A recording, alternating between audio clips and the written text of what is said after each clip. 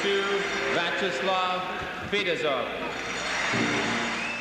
My dream was to play for the my team in the Olympic Games, and uh, always been, you know, it's thrilling. It's Olympic Games. It's a celebration of the youth, sport, uh, friendship, competition, and you know, it's uh, the, the play best against best.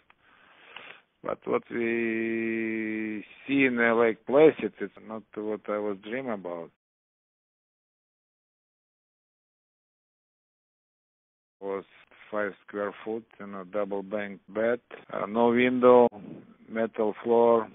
Two people cannot be in, in the same time in, in this room. I mean, it's one toilet for everybody. The watching towers in the prison. The dogs was barking all night, uh, running around the perimeter.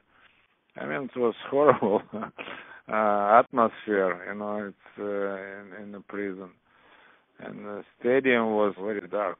It's no comparison, no comparison to any maybe ten thousand years ago was uh, was condition, but it was horrible. You know, it's not the excuse for everybody to have a probably one of the best team in the history of the Soviet hockey. That's why I have no almost no memory about what's happened there, and to compare. Uh, to remember my first international competition uh, at age 14, I remember like yesterday, Olympic game in uh, Lake Placid was something you know, it's uh, not touch me anyhow. Very often the people ask me, did they send you to Siberia or you know they hang you in Red Square? No, no. I was pretty confident going to, into the game, maybe overconfident.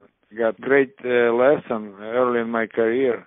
Never underestimate opponent until the game is over and always count on yourself, not on somebody else. I tip my hat to the team of young American players. They capitalized. That's why they're in history.